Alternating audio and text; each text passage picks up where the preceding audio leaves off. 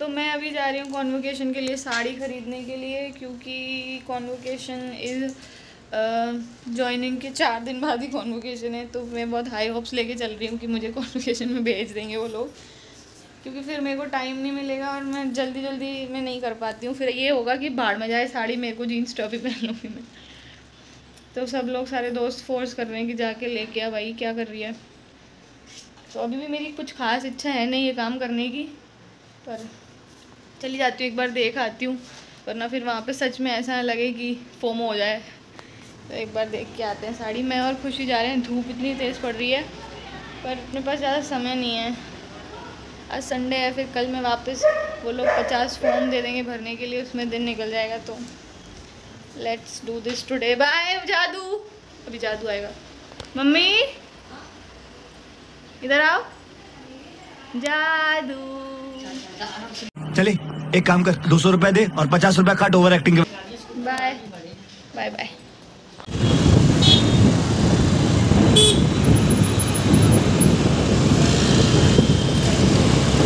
अभी हम आए हैं।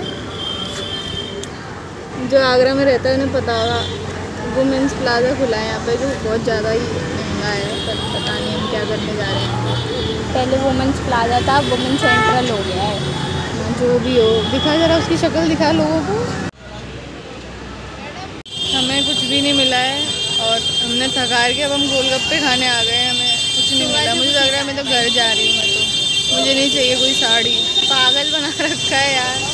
उनको बोलो कि सिंपल चाहिए तो पहले तो निकाल देंगे स्टोन वाली फिर मुँह बनाएँगे। अरे सिंपल तो मिलता ही नहीं इससे सिंपल क्या पहनोगी? ऐसे तो नहीं होता। तो जब तेरे को बोला मैंने कि सिंपल चाहिए तो समझ नहीं आ रहा तेरे को सिंपल चाहिए क्यों खोल रहा है। तो खोलने का फिर खुद ही मुँह बना रहा है। पागल ये अपडेट है कि मैं तो हार मान चुकी हूँ पर खुशी नहीं मानी अभी तक। हार अभी कहीं और ले जा रही है। एक्चुअली पता है प्रॉब्लम क्या है? प्रॉब्लम ये है ये है। मैं नहीं हूँ प्रॉब्लम प्रॉब्लम ये है कि लोगों को बोलने के बावजूद भी लोग सेम चीज़ दिखा रहे हैं। ये यूपी है मैडम यहाँ ऐसा ही होता है। अरे, यूपी है मैडम की क्या बात है? मैं कह रही हूँ, सिंपल साड़ी। उसको समझ ही नहीं आ रहा। मोती लगे हैं। फिर बोलता ये हमारे यहाँ की सिंपल है। अरे। कोई सेंस हुआ इस बात का? हम तो पागल हो गए हैं यार। ये कहाँ ले जा रही है, किडनी बेचनी पड़ेगी एक एक किडनी की रह जाऊँगी मैं भी थोड़ी देर में। कोई एक दे देना मुझे।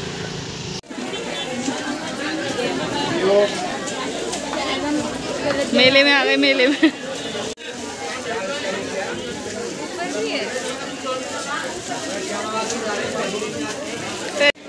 हम ऊपर वाले फ्लोर पे आ गए हैं। रे कॉन्वोकेशन मेरी है और खुशी देख रही है, साड़ी मेरे लिए। तो पता नहीं कहाँ कहाँ घूम रही है, लेकिन मैं बैठी हूँ आराम से। थक गई मैं तो आ गई। मिला कुछ? उसी टेबल पे है। उसी टेबल का एड्रेस दिया गया है इसे।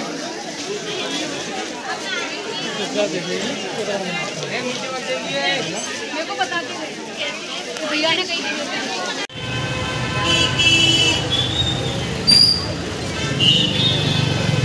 हाँ हाँ ढोकला खाने रुक गए। शॉपिंग करने आओ और बीच में ये जो सब्ज़ी समोसा पूड़ी ढोकला जैसे ये बेचारी भूखी लड़की है। जिसका कोई लेना देना भी नहीं है मेरी कॉन्वोकेशन से।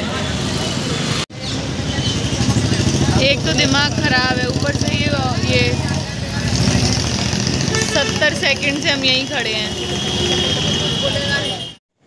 घर आने के बाद मैं और पापा गए थे बाज़ार कुछ सामान लेने के लिए, लेकिन रास्ते में हो रही थी एक वीकेंड नाइट और वहाँ कुछ ऐसा हुआ कि पापा ने गाड़ी रोक ली और पापा ने थोड़ी देर रुक के एंजॉय किया। मैंने बोला भी कि आप क्यों सुन रहे हो? तो कह रहे अच्छा लगता है मुझे। तो ये साइड मैंने अपने पापा का देखा ही नहीं है। शायद कभी टाइम ही नहीं मिला कि हम ऐसे जब जाके एंजॉय करें। पर मैं सोचने लगी थी कि काश कभी मैं भी पापा के सामने परफॉर्म कर पाऊँ।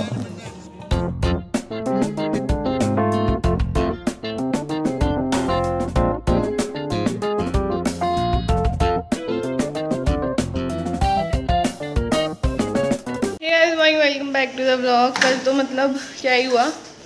जो हम लास्ट शॉप पे गए और वहाँ पे ही साड़ी मिली।